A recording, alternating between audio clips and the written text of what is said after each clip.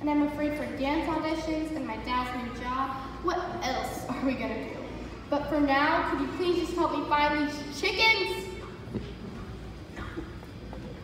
What you looking for? Ah!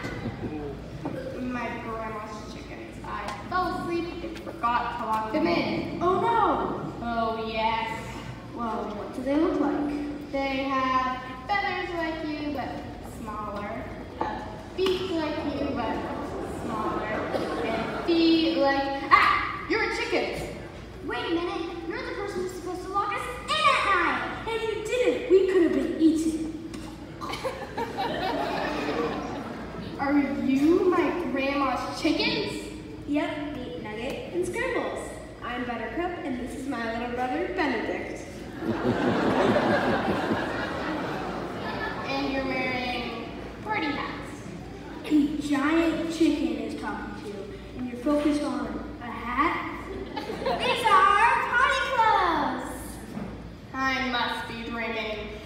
This is a dream we're free, so I hope you never wake up. Now that I've found you, we can all go home. Not in your life.